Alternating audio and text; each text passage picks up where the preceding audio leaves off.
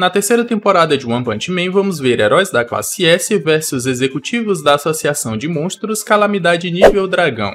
Só que essa luta já aconteceu no mangá, e vários heróis se deram muito mal nessa batalha. No vídeo de hoje nós vamos ver como e quem são os heróis classe S que foram derrotados. E se você ficou curioso, segue comigo e acompanhe esse vídeo até o final. Fala galera, meu nome é Lucas, voltando com One Punch Man, falando sobre como os heróis classe S foram derrotados. Só que esse aqui não é o primeiro vídeo de One Punch Man aqui no canal, a gente já tem vários outros que você pode assistir. É só assistir esse vídeo aqui até o final que lá eu te relembro. Por enquanto já deixa aquele likezão e se inscreve no canal se ainda não foi inscrito. Agora sem mais enrolação, bora pro vídeo. Puri Puri Prisoner. O Puri Puri Prisoner foi um dos heróis que invadiu a Associação de Monstros sozinho. Ele acabou lutando e vencendo um monstro de calamidade nível demônio, e depois deu de cara com o Nyan, um executivo de calamidade dragão. Eles até ensaiam uma batalha, mas o Nyan acaba fugindo por não querer lutar contra ele. Após isso, e ainda procurando por Nyan, ele acaba encontrando um Garou preso. Depois de acordá-lo, ele foi derrotado sem que pudesse revidar. Ele só não foi morto nessa situação porque o Darkshine chegou para salvá-lo. Mas essa aqui foi outra derrota humilhante para o nosso herói classe S, Darkshine. Falando nele, temos o Darkshine, um homem com os músculos mais definidos e brilhantes do mundo. Ou era o que ele imaginava. Primeiro ele luta com Garou desacordado e até tem vantagem, mas só até o Garou despertar e começar a dominá-lo. Aqui ele descobre que na verdade nunca se meteu em uma luta que existia a possibilidade de perder. Ao longo da batalha o Garou foi apanhando e evoluindo ao ponto de deixar o Darkshine aterrorizado. Fez até parecer que o Garou estava cometendo bullying contra ele. Essa humilhação só não foi pior porque a Tatsumaki salvou todos os heróis dentro da associação mas após essa derrota e humilhação, ele recuperou sua autoestima só para perdê-la mais uma vez. Ele até se deu bem contra a água natural maligna e o esperma negro em suas formas normais, mas ao enfrentar o Purrefeio em sua forma ácida, ele teve o seu brilho derretido e acabou sendo derrotado de novo. Para terminar, ele ainda viu o esperma dourado ter um brilho e definição muscular maior e melhor que a sua, o que resultou na sua humilhação em todos os sentidos. Tank Top Master o Tank Top Master não participou da invasão à Associação de Monstros, mas depois que os executivos foram para a superfície, ele foi lá para ajudar na batalha. O que ele não contava era que contra os executivos ele seria trucidado. Ao tentar lutar contra o Furrefeio, primeiro ele teve todo o osso do seu braço quebrado em várias partes. Depois levou uma saraivada de golpes que literalmente moeram todo o seu corpo e quebraram ali todos os seus ossos. Para finalizar, ele foi comido pelo Gums e só não morreu porque foi salvo pelo Silverfang com a ajuda do Gems, porque senão ele teria morrido. Pig God. Contra o Gams, o Pig God encontrou um ser com uma fome muito maior que a sua. Com isso, ele foi engolido uma primeira vez, mas lutou para ser regurgitado antes de ser digerido. Só que essa era uma batalha já perdida. A fome do Gams era muito maior que a sua, e o Pig God sofreu diversas dentadas até ser engolido mais uma vez. Ele só não morreu nessa situação porque a Tatsumaki salvou todos os heróis com seu poder psíquico, e assim ele teve como fugir. Mas se não fosse por isso, ele teria sido humilhado e morto sem fazer nenhum arranhão no Gums. Zombie Man Na batalha contra o Mendigo Imperador, o Zombie Man se tornou um alvo imortal ambulante e não conseguiu nem arranhar o executivo. Aqui o mendigo mostrou todas as maneiras de como assar uma carne de zumbi. Ele só não morreu porque sua cura é absurda, e ele se curou todas as vezes, mas só para ser torrado mais uma vez e repetir o ciclo até o final da batalha.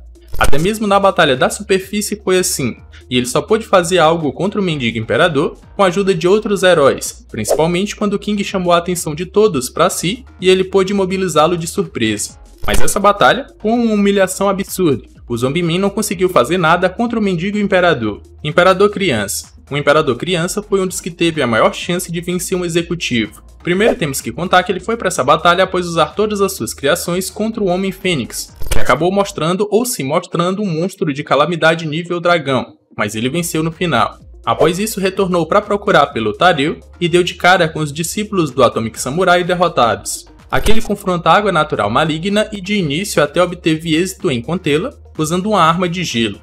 Só que um monstro oleoso aparece e é absorvido pela água maligna, que adquire características oleosas, e assim o seu ponto de congelamento já não era mais o mesmo, o que resultou em sua arma se tornando obsoleta.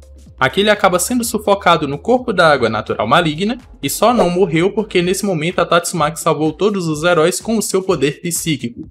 Mas nessa batalha, ele iria ser derrotado e iria ser morto também. Só que, como eu falei, ele não estava 100% para essa batalha. Atomic Samurai. O Atomic Samurai foi outro dos heróis classe S que foram humilhados. Nesse caso, em sua própria especialidade, que é fatiar seus inimigos a nível atômico. Sem se preocupar com como funcionam as habilidades do esperma negro, ele fatiou o executivo até o ponto que todo o local foi tomado por seus clones. Com isso, ele foi completamente cercado e surrado até não poder mais revidar.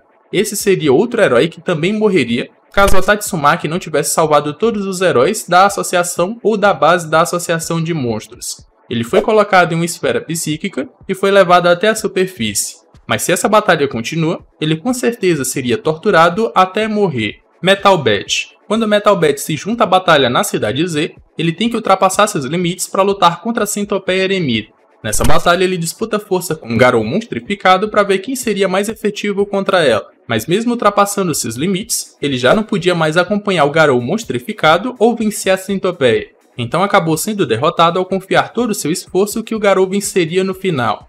Mas eu não considero uma derrota humilhante, até porque ele fez mais do que ele podia, ou foi muito além do que ele podia, contra um monstro de calamidade desconhecida. Então foi uma derrota, mas não foi humilhante. E se você estiver gostando desse vídeo, já deixa aquele like e se inscreve no canal se ainda não for inscrito. Como eu falei, a gente tem vários outros vídeos de One Punch Man aqui no canal, eu vou deixar o link no card aqui em cima ou na tela final desse vídeo. Por isso é importante que você assista ele até o final. Genos. O Genos não foi derrotado em uma batalha direta contra um dos executivos com plenas capacidades. Primeiro que ele foi de grande ajuda para Tatsumaki contra a Psychos, e depois se fundiu com o Drive Knight para derrotá-lo. Depois de todo esse esforço, quase que o seu núcleo entra em colapso e ele se destrói. Mas graças a Fubuki ele pôde continuar lutando. Então ele não foi com suas plenas capacidades para a luta contra os executivos. Não que mudaria muita coisa, porque ele ainda assim seria destruído pelo mar de espermas negros que os heróis estavam combatendo.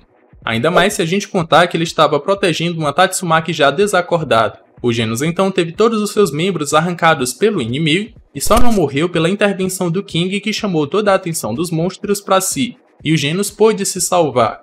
Eu nem considero uma derrota ele ser morto pelo Garou, já que ele já estava todo acabado ali, mas ele foi realmente derrotado aqui, mesmo não indo para a luta com suas plenas capacidades. Flash Flash. O Flash Flash foi outro herói da classe S que teve uma derrota bem humilhante, ainda mais em seu ponto mais forte, que é a sua velocidade. Primeiro podemos contar que depois de atacar o Saitama e ver que ele podia se esquivar de todos os seus ataques, ele encontrou um homem mais forte e veloz que ele. Mas sua derrota e humilhação veio quando ele lutou contra o Garou monstrificado e o Esperma platinado.